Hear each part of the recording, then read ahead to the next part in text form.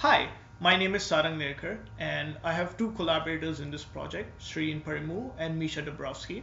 They're not in this country at the moment, which is the reason why I will be making this video on my own. We will be making a model airplane. It will be a model of SR-71 Blackbird, just because it's a really cool plane. And it will have two pulse jet engines, it will have a camera attached to it, and it will be controlled by voice. So that should be something really new. And we will be making it from scratch. So we will be making the pulse engines on our own. We will be making the receiver and transmitter on our own. And we will be developing the software for voice control on our own. So it will be interesting. And just to make it even more interesting, we will try and make it within 48 or 72 hours.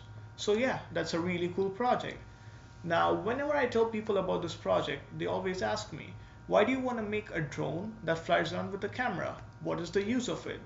There are a lot of uses. One major use can be surveillance. Every year in United States of America itself, 3 to 10 million acres of land is burned down due to wildfires. Now, a small and fast drone with a thermal camera attached to it can make daily searches of a forest whenever a hot zone is detected and pre and post ignition signals can be sent to the base station which will try and stop the forest fire.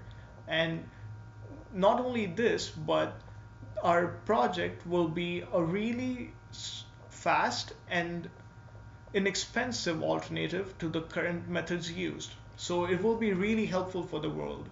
So yeah that's our project.